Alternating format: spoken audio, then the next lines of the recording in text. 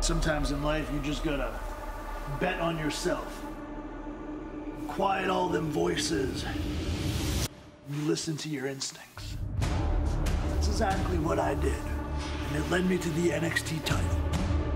It led me to Goldie. For 238 days, I was the greatest NXT champion of all time. They were the greatest 238 days of my life. Then it stopped. I broke my damn neck. I had surgery and I handed my title over. I handed over my life.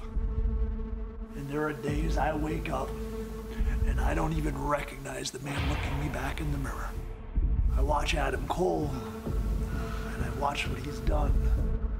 It leaves me with an emptiness inside. I, I need to fill that emptiness. I need to know. Adam Cole, you took my life. I want my life back.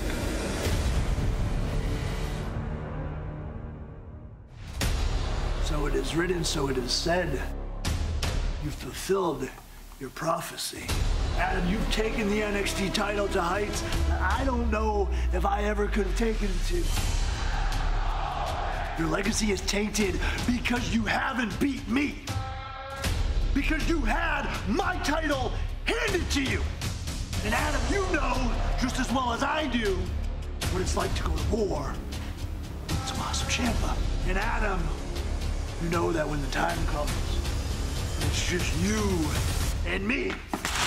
When it's just you and the champ.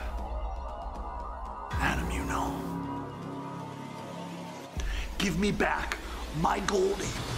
All I need, Adam, is one chance, one shot, one title opportunity.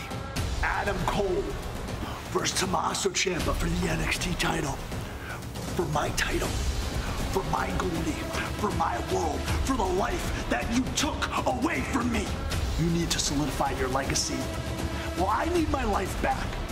Because, Adam, I don't know who I am who I will become without it.